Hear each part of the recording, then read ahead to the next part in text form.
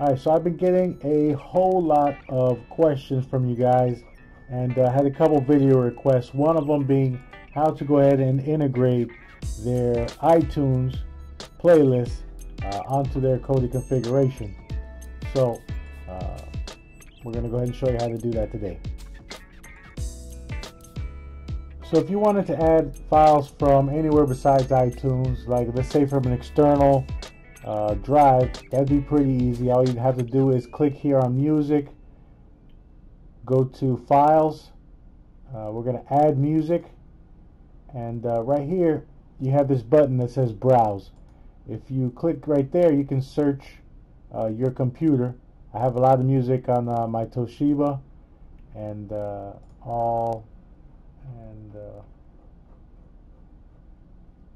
music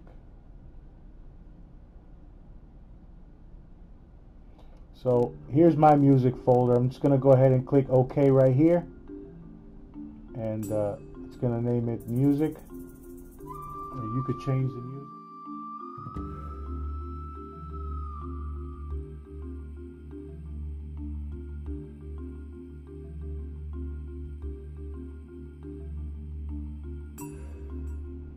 So it's going to ask us, do we want to add the media from this source to our library? I'm going to go ahead and say yes and uh, it's going to go ahead and start importing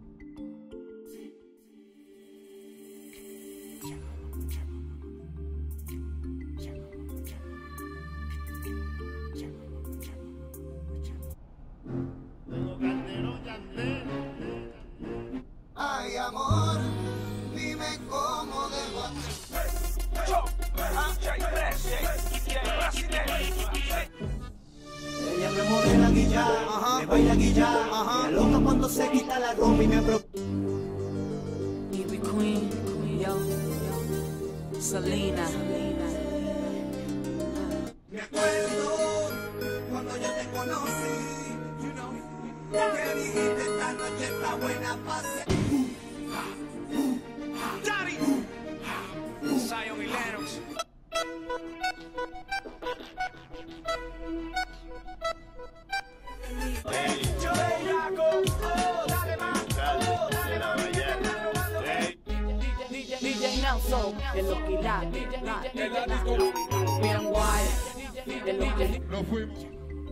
Definitely want to give a shout out to my good friend DJ Renee for uh, hooking me up with uh, part of his collection. Make sure you guys look him up. DJ.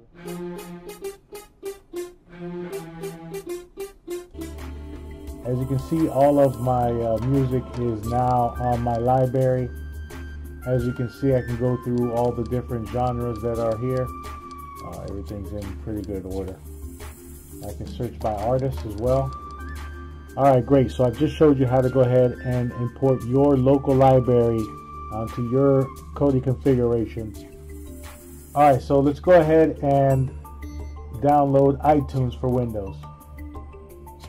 You're going to want to download iTunes for Windows. I'm going to make sure that I leave a link in the description of this video. Uh, when you click the link, it will give you some uh, Windows system requirements. Uh, we do make the requirements here, so we're going to go ahead and click this blue download button.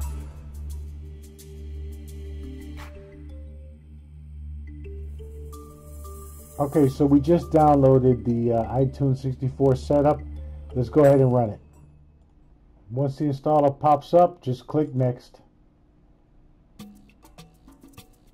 If you want to add iTunes shortcut to the desktop, use iTunes as a default player for audio files and automatically update iTunes and uh, other Apple software, go ahead and leave these checked. I'm going to uncheck use iTunes as a default player. You can also change the destination folder. For the purpose of this video, I'm going to leave it at the default, which will be in the program files in a folder called iTunes. Click install to go to the next step.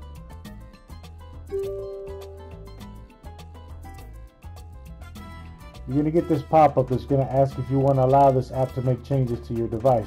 Click yes. Now sit back and wait for the installer to do its thing.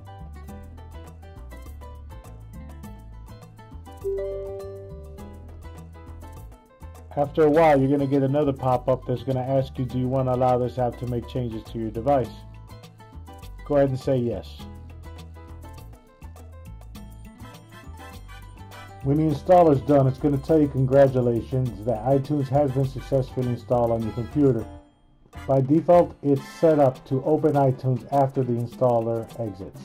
Go ahead and click Finish to launch iTunes for the first time.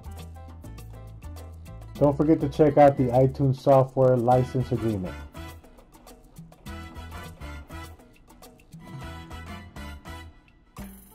I'm going to click Agree. So in order for this to work, you're going to need an iTunes account. If you're watching this video, you probably already do. Click this button here that says sign into the iTunes store.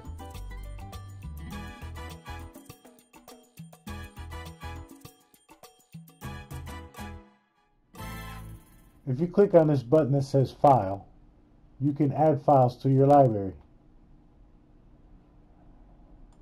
I'm going to navigate to my hard drive where I have my files located. I'm going to navigate inside my music folder. I'm going to upload this Sizzla. If you want to add a whole folder, click File and Add Folder to the library. Again, I'm going to navigate to my hard drive and find my music folder.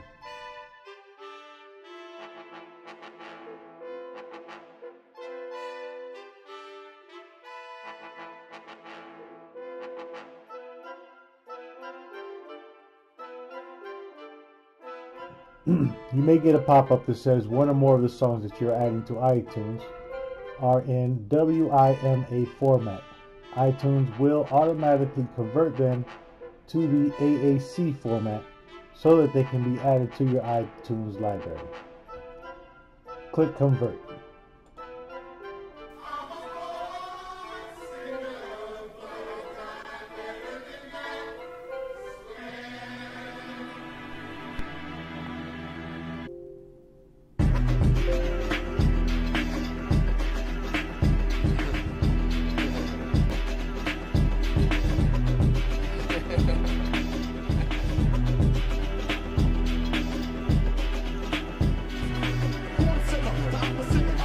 Brag like ho. Fuck everybody. I'm about to go and join Illuminati. But God done healed them, and God done worked a miracle for them. Shit like, Please,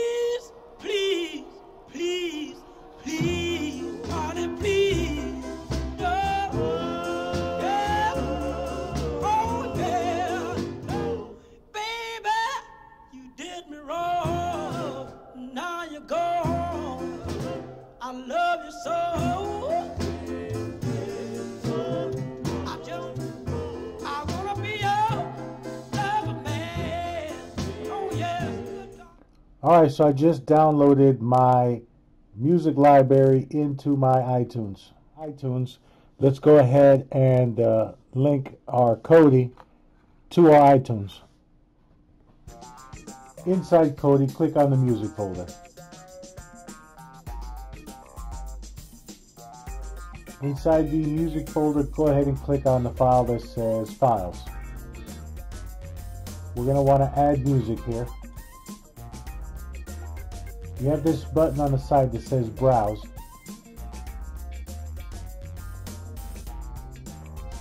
From here, we're going to want to go ahead and navigate to the iTunes Media folder.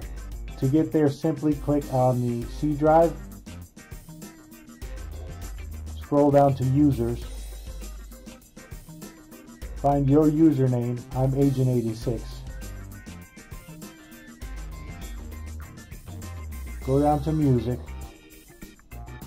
Here's your iTunes folder. Click on iTunes Media and click Music.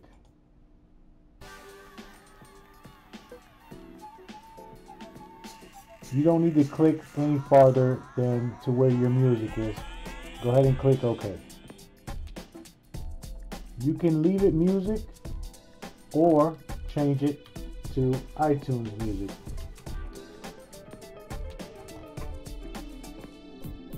Then click OK.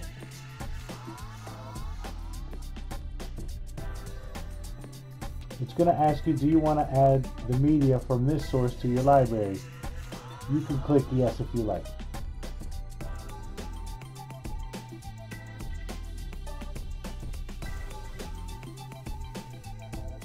So from the home screen of Kodi, if you click on the word music, then click files, you see your iTunes music folder.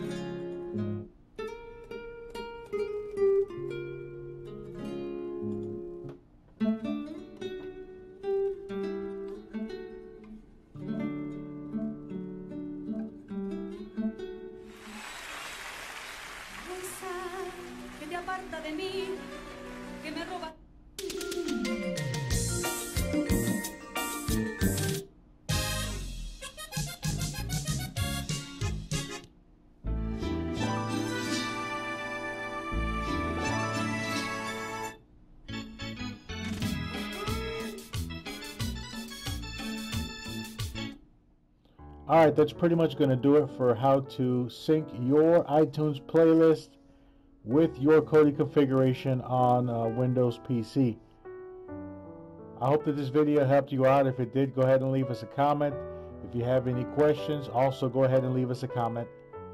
I'd like to thank all of our viewers for uh, all the great comments and uh, for these great questions. We'll go ahead and uh, keep answering them as long as you guys keep asking.